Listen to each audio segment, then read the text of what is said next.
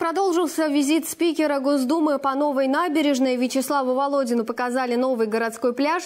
Пока он только в виде проекта. Там сейчас ведутся подготовительные работы.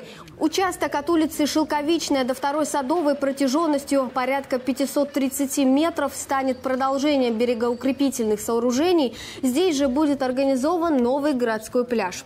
Проект спикер Госдумы оценил вместе с общественностью. Чиновникам и строителям он задал несколько вопросов объектов по зеленым насаждениям, пунктам службы спасения и ливневым коллекторам. Спикер Госдумы затронул вопрос доступности пляжа для людей с ограниченными возможностями и предложил продумать парковочные места. Вы сделаете большую, огромную автостоянку и у вас будет э, здесь движение машин. Все-таки было бы правильно продумать здесь э, э, подходы приоритетные для организации отдыха людей, детские площадки. Кроме этого, здесь должны быть и кафешки, здесь э, должны быть э, какие-то другие э, вот именно развлекательные объекты для того, чтобы человек пришел и мог бы целый день здесь оставаться, отдыхать. Вот сейчас этого нет.